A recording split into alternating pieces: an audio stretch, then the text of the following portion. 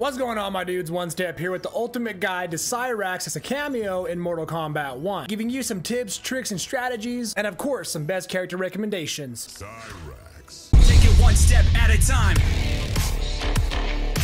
Subscribe here for more fighting game content and let's go ahead and jump right into it. Cyrax is so much fun as a Kameo and man, he got some great moves, including a standard Kameo move, the helicopter, as you see there, the first tip is that helicopter does not hit grounded opponents. Like we are in their face, it's not gonna hit. You gotta put them in the air first. But it does allow for air combo extension, which is super nice, and I'd love to see that. Keep in mind, if you hold Kameo, the helicopter move will actually travel forward and then hit your opponent. And you can do that in a combo as well.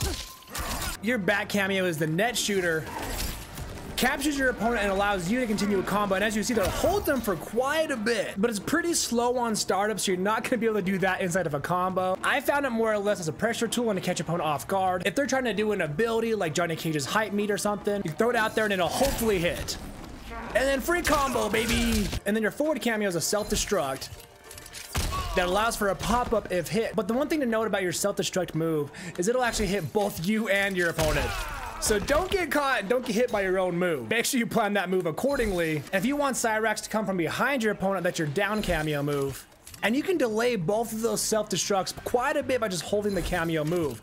You'll see he stands there for quite some time really making your opponent guess, okay, when is this gonna go off? How do I avoid it? Because as soon as they get hit by it, man, it's a free combo. The cool thing about your back Kameo, the net move, is that's gonna be your best wake up option with Cyrax because you do get armor on that move on wake up, but the net won't actually stop your opponent and hold them. It's more or less projectile at that point. And here's how that looks.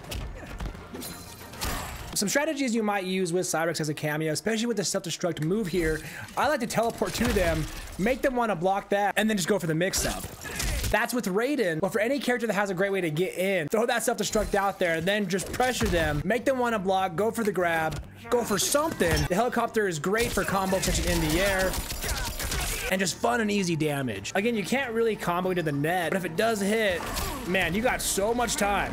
Some character recommendations when it comes to Cyrax as a Kameo is because a helicopter move puts your opponents in the air so well and so high. Characters like Nitara really benefit off of that because she loves the air. Same with characters like Reptile that can use a force ball with that. If you land the net move with Cyrax, it's a great way to let your character do their ability that they need to do, kind of like Johnny and his hype gauge, Ashrah going from dark to light, Geras getting his time stuff out there, or even Rain and Katana trying to set traps. Cyrax is a great and fun Kameo, but let me know your thoughts down below. What do you think of Cyrax? Do you like him? Do you hate him. Subscribe here for more Mortal Kombat content and take it one step at a time.